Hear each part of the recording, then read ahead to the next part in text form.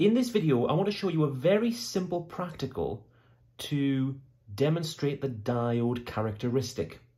So before we start, just as a little bit of a recap, in some of our previous videos, we've mentioned the diode characteristic. And we said that as the voltage across the diode increases, well, I've called that VD, the voltage across the diode, the current that flows through the diode exhibits a characteristic that looks something like this. We have this sort of curved shape. And what happens is we reach a certain voltage, uh, in our case, around 0.6 or 0.7 volts, which we called the activation voltage. And we said that at that voltage, the current then starts to increase. Nothing much happens before that voltage. We reach that activation voltage and then we get an increase in current. And we've seen that um, explained in some of our previous videos, and we also showed it in a simulation as well. I want to show it in a practical, and a very simple practical that doesn't involve many components or anything complicated. What we would normally do, especially when we had the simulation, is we used um, a voltage sweep where we increased the voltage gradually and we could see that, that current characteristic there. Let's suppose that we don't have any fancy um, power supplies with variable voltage or anything like that. We've just got a simple battery. How are we going to demonstrate this characteristic? Well, fortunately, it's nice and easy. We only need um, a couple of components. We need, well, I say a resistor. We'll need a range of resistors and a diode. And providing we've got access to some different resistors and a diode, we can go ahead and take some results and hopefully demonstrate this characteristic in this video. So to do that, I'm going to assemble a very simple circuit. And that circuit is just these two components. We have our voltage supply, um, which is going to be a 9 volt battery in this case. And that's going to be connected to two components. We've got a resistor and we've got our diode. That's our circuit essentially, and we're going to build that on our breadboard here. Uh, in a previous video, we talked about breadboards. If you're not familiar with building a circuit on a breadboard, we talked about um, breadboards and what they involve. But we're going to go ahead and assume that you've watched that or you're already familiar with breadboards. We're going to create a very simple circuit. From the top rail, we've got our resistor. That resistor I'm going to take down uh, to here. And then from that same row, our diode is going to go to the negative rail. Obviously, diodes are semiconducting. Uh, we've got to have it in forward bias rather than reverse bias. How do we know which is which? It does depend on the diode. Um, the diode that I've got here, um, it should be visible in the video, but for most diodes, what you'll find is at the negative end, um, which is here, there's a slight um, stripe on the body of the diode. I'm hoping you can see that or whether it's that it's in focus, but there's a stripe on one end of the body of the diode that's not on the other end. And that denotes that this is our um, negative um, connection for the diode and the other end is the positive. And so what I'm going to do is I'm going to connect that um, in such a way so we have our um, positive and negative so it's in forward bias another helpful tip if you forget about the, the little stripe rule is that the symbol for the diode kind of hints at that this sort of horizontal stripe here um, is at the negative end and it corresponds with that stripe on the body there so that's useful to remember as well if you ever forget so there's our circuit completed um, we just need a power supply here. And all I'm going to do is I'm going to connect that battery um, to the top, oops, to the top and bottom rails respectively. Um, this battery snap doesn't stay in place too well, but hopefully we'll get away with it. So there's our circuit. All we need to do now is connect our battery. Before I do that, just a word of caution here. Um, which resistance have I picked? I've just put a, a resistor in there. This is a 33k resistor. And what I'm going to do, I'll just make an aside here um, to explain the sort of process that I'm going to go through. I'll, I'll do that by just drawing a table very quickly. What I'm going to do is I'm going to use a range of resistors we mentioned at the start. And I'm starting with 33k in this instance. You don't have to start with exactly the same value, but quite a, a large resistor. And what I'm going to do is I'm going to attempt a range of values and decrease those resistances. Um, in my case, probably the lowest that I would go to is 470 ohms. So we're going from 33k, 33,000, down to 470. And each time I'm going to do that, I'm going to take a couple of measurements. I'm going to measure the voltage across the resistor, which I'm going to call VR. And I'm going to me measure the voltage across the diode, which are called VD. So in the diagram, what I'm doing is something like this. I'm measuring the voltage across the resistor, VR, and I'm measuring the voltage across the diode, VD. And to do that, I'm just going to use an ordinary multimeter. You can pick one of these up for five or ten pounds. Um, they're not expensive and they do the job, in our case, perfectly well. There's one more column that I've left blank here, um, but I'm going to come back to that in just a moment.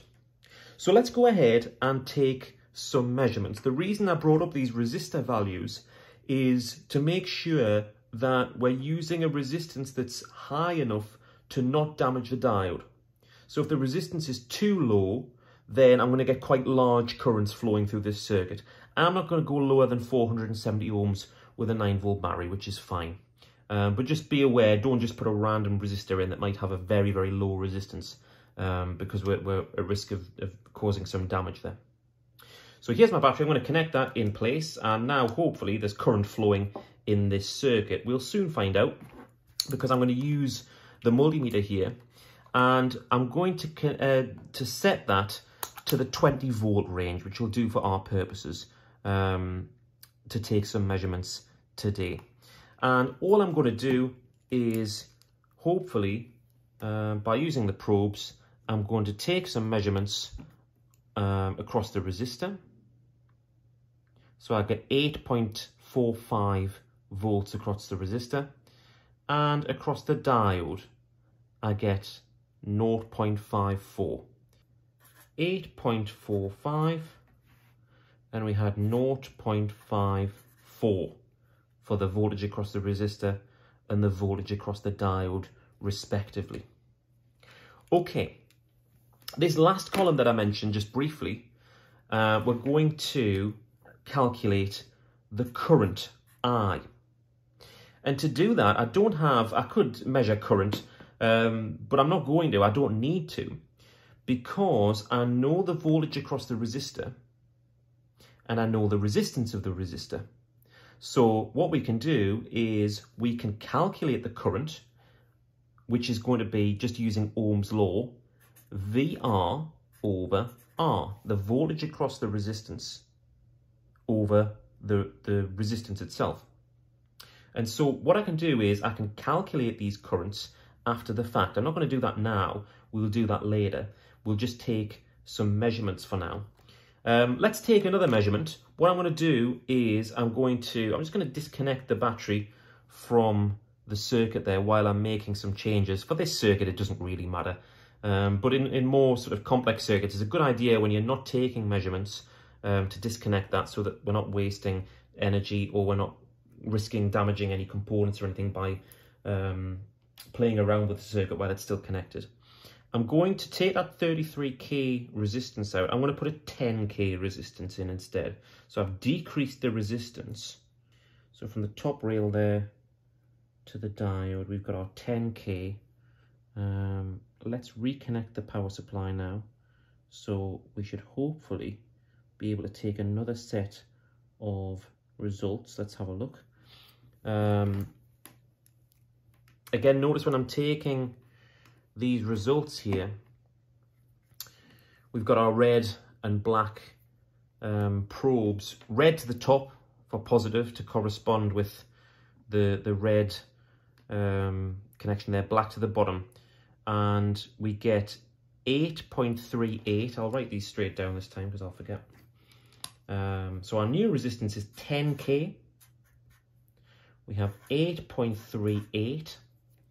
And then the voltage across the diode, again, red to the top, black to the bottom, we have 0.59. So again, 0.59. Um, if I'm talking about the direction of those probes, if I reversed them, I would just get a negative result. Um, you can see there. So it's just a question of polarity to have those in the right direction there. Um, hopefully you get the idea. It's simply a case of just replacing with more resistor values now. I'm going to jump ahead and show you some of the completed results and we'll calculate some currents as well and hopefully plot a graph that shows us the characteristic curve. Okay, so I've taken some more measurements and now I'm just in Microsoft Excel. I'll zoom in just a little bit so you can uh, see a little bit clearer. What I've done here is I've, here's my sort of range of resistors that I mentioned before. Um, there's not much rhyme or reason to this, but I've just sort of tried to pick a range of sort of orders of magnitude, um, 33k, 10k, 8.2k, 3.9, 1.2, 1k, and then 470 ohms to finish with there. And for each of those, I've, I've measured uh, the voltage across the resistor VR and the voltage across the diode, which I've called VD. So what I want to do is just in Excel, um, or you can use any equivalent sort of spreadsheet software, I want to try and produce a graph of that diode characteristic. And for that, we need to calculate the current flowing through the circuit. Um, so what I'm going to do in, in this case is I'm going to use formulas in, in Microsoft Excel to do that automatically. One thing I am going to need to do is I'm going to have to convert these um, resistances here rather than talking about K, 10K and so on, um, which Excel won't understand. I'll have to convert those all into ohms as just a plain number for each of them. So 33K, I should be saying 33 thousand and so on and so forth. So 10k becomes 10,000 all the way down like so. Okay, so I've done that now for all of those values. And what I'm going to do is I'm going to calculate the current flowing through the circuit. And the way I'm going to do that is just add another column here. This is going to be my current in amps. So I'll call it I um, brackets A. These voltages are both in volts as well. I can add the, the units there. Um, and all I'm going to do is in Excel, because I'm asking Excel to perform a calculation, we're going to start the um, the, the, function or the the, um, the cell with it with an equals. So I'm asking Excel to calculate something equals, and what I'm going to do is very simply I'm going to calculate the current flowing through the resistor, and I'm going to do that using Ohm's law. So current is voltage divided by resistance. Well, I know the voltage across the resistor and I know the resistance of the resistor. So all I need to do is equals VR, the voltage across the resistor, divided by, so I'm just using a forward slash there, the resistance. So voltage divided by resistance. And I just press enter and I get a result. So the advantage of doing this in Excel is I can just grab that little bottom corner there and I can drag that bottom right corner all the way down and it should complete the calculations for each.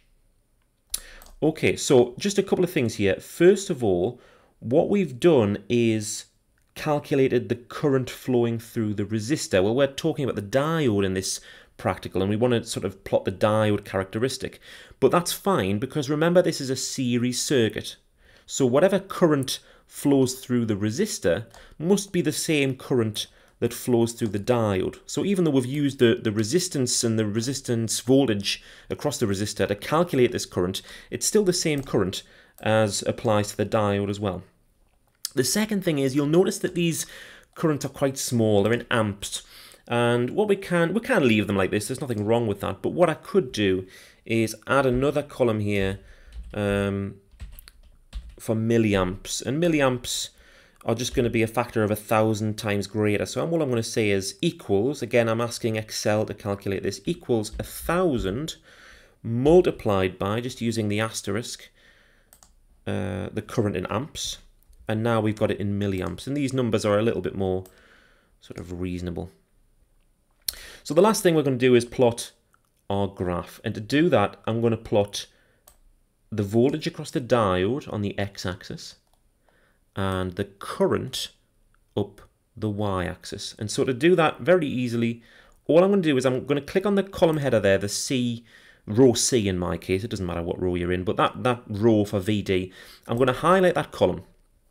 I'm going to hold down Control on my keyboard and I'm going to highlight column E as well for the current. So I've highlighted the voltage across the diode and the current. And then I'm going to insert a graph. And the type of graph that I'm going to use is, in this case, just a scatter graph. And I have a few options, um, but the one I'm going to pick is uh, the, the one with that has points and a, and a smooth curve um, joining those points. And so, oops, I've just moved something there. I've produced my graph there. I'm just going to move this to the side here. And hopefully what we can see is we're demonstrating this characteristic. My results aren't great. There's a little bit of um, of inaccuracy maybe or error when I've when I've taken those measurements, but you can hopefully see that activation voltage at around about 0.6, 0.65 volts, and then we get that increase in current that we mentioned before. Um, what I can do with this graph is make it look a little bit more sensible. I'm just to, you can do these manually by adding chart elements. We can add titles and whatnot, but also on Excel, there's this quick layout. I'm just going to pick the first one here, and it adds a, a couple of things automatically. Uh, we've got our x-axis, which in our case is, I'll try and edit that without moving it, is the voltage across the diode, so VD measured in volts. And then up the side here, we've got our current I in milliamps and I'll just give this a sort of more sensible title diode um, forward bias characteristic. And we'll get rid of that there. This little trend line marker this key we don't really need so we can get rid of that as well. So there's our graph and hopefully this video has been useful to demonstrate how just with a, a few components in a breadboard we can still demonstrate that diode characteristic experimentally.